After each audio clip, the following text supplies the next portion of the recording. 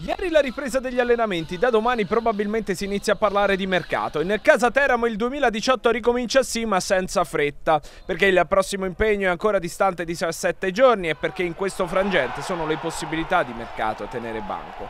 Dovrà arrivare un attaccante, ammesso che qualcuno, Ciro Foggia in pole position, parta. C'è stato un interessamento per Lorenzo Sorrentino, che tuttavia non infiamma né la platea biancorossa né tantomeno il presidente Campitelli, che se proprio deve tornare sul mercato vuole farlo per una punta che cambi un po' il volto della squadra, altrimenti si corre il rischio di rifare gli errori del passato.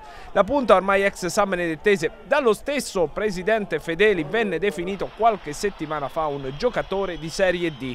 L'occasione sarebbe stata più economica che tecnica e non è detto che comunque non possa arrivare, ma il patron del Teramo rimane molto freddo sulla questione aspettando nelle prossime ore di incontrare Asta e Repetto per fare il punto della situazione. L'incontro che Sorrentino dovrebbe avere con la dirigenza del Teramo di fatto è solamente un'indiscrezione che per ora non trova conferme, anche perché senza il rientro di Campitelli è impossibile procedere ad eventuali trattative.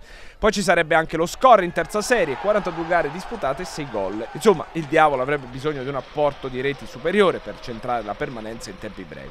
Impossibile arrivare a giocatori in uscita come Nicola Ferrari o Gianmario Comi del Vicenza, l'ingaggio è insostenibile per le casse del Teramo e allora il focus potrebbe spostarsi proprio su giocatori che vengono dall'interregionale. Ma se Magrassi del Matelica rimane un sogno proibito, le altre big dei gironi sud non sembrano voler far partire i loro bomber.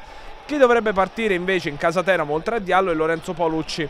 Nulla da fare neppure nella seconda esperienza biancorossa per lui. Troppo poco spazio e la necessità di andare altrove è sempre via Pescara per trovare maggiore continuità.